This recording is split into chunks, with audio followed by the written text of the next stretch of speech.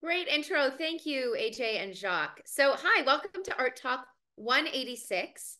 In honor of Women's History Month, we'll be featuring female artists throughout the month. And to begin, we're going to be talking about British Syrian artist Yasmin Hayat.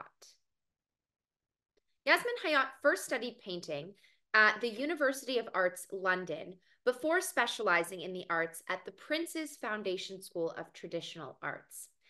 After graduating with distinction in geometry and miniature painting, Yasmin developed a language and process of painting which is derived from an old Arabic style and incorporates contemporary Western and Indo Persian techniques.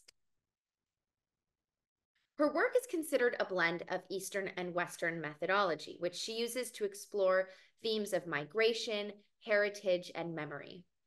Seen here on the left in 2018, Yasmin was awarded the Kairos Prize by His Royal Highness King Charles and Professor Keith Critchlow for her paintings, which preserve and celebrate traditional art practices and techniques.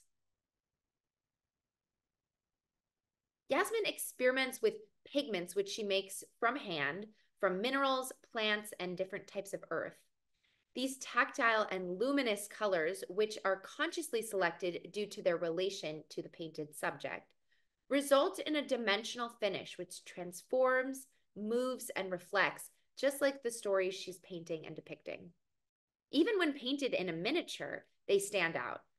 Yasmin sources the raw materials from around the world and meticulously refines and processes these ingredients to craft an individualized palette, which is completely unique to each painting she creates.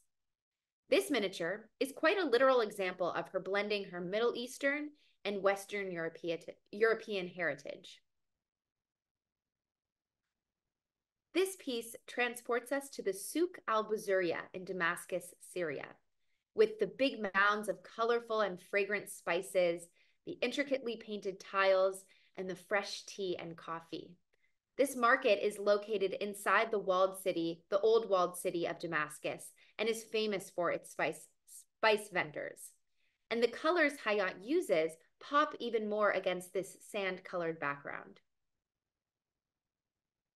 Color is so important to Yasmin because it adds to the story of each painting she creates. What I love about this piece is that when you look at it as a whole, it has a shape and a rhythm to it. But on closer inspection, each sea creature has its own face and its own personality. So it just shows the detail that she puts into each of her pieces. Even though Hayat's work references ancient techniques and locations, her paintings can be quite modern.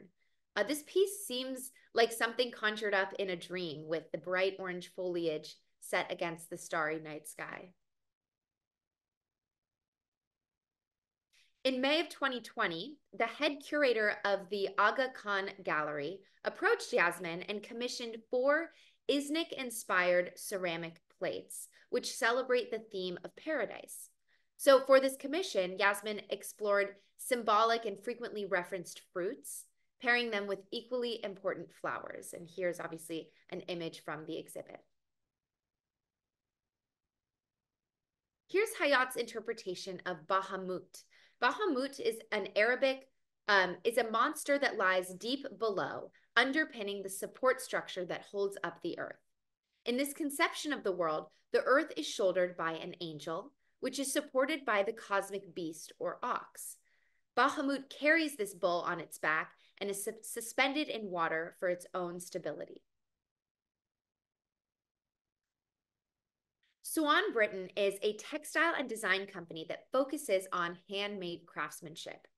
In 2020, Lulu Lytle of Soane Britain invited Yasmin to analyze an antique Egyptian tent panel.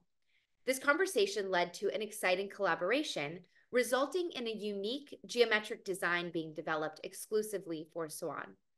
The pattern, titled Rumi, is now available as part of Soane's Egyptomania collection. And in this image, the fabric is used as a curtain draping. And finally, we'll end on my personal favorite of her works. In her own words, Hayat describes Fatherland as a painting that evokes a sense of wonder and nostalgia for a land that is well loved and wonderful, a place of memories, beauty, splendor, and home far away. This piece is kind of an amalgamation of all of her strengths in color, pattern, and texture, and she uses 24 karat gold to give this piece iridescence on Indian hemp paper. Yasmin Hayat is a young artist in the beginnings of her career, so she's someone to keep watching. Thanks, everyone.